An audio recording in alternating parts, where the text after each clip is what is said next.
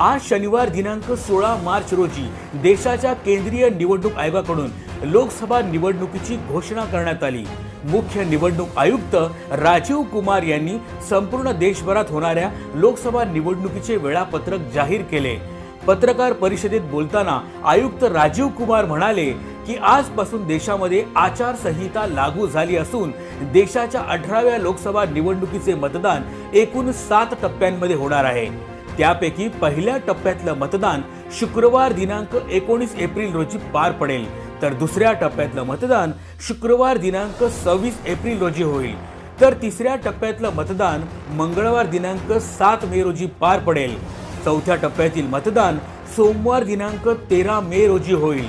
पाचव्या टप्प्यातील मतदान सोमवार दिनांक वीस मे रोजी पार पडेल. तर सहाव्या टप्प्यातील मतदान शनिवार दिनांक पंचवीस मे रोजी होईल. तर शेवटच्या म्हणजे सातव्या टप्प्यातील मतदान शनिवार दिनांक एक जूनला पार पडेल. तर आपल्या महाराष्ट्रातील लोकसभा निवडणूक मतदान एकूण पाच टप्प्यांमध्ये पार पडेल.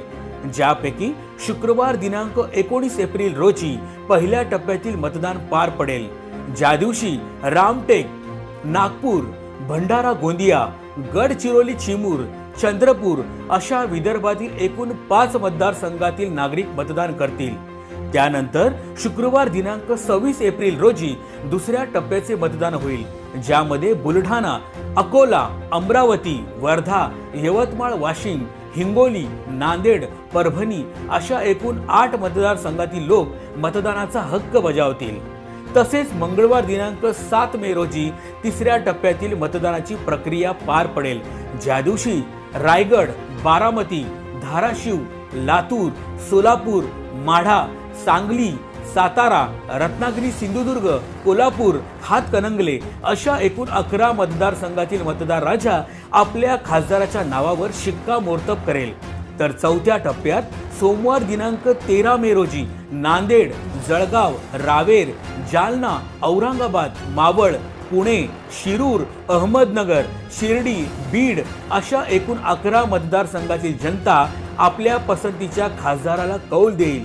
तर शेवटच्या टप्प्यातील मतदान सोमवार दिनांक वीस मे रोजी होईल ज्यामध्ये धुळे दिंडोरी नाशिक पालघर भिवंडी कल्याण ठाणे मुंबई उत्तर मुंबई उत्तर पश्चिम मुंबई उत्तर पूर्व मुंबई उत्तर मध्य मुंबई दक्षिण मध्य आणि दक्षिण मुंबई अशा एकूण तब्बल तेरा मतदारसंघातील जनता आपल्या आवडीच्या उमेदवाराच्या नावासमोरील बटन दाबेल.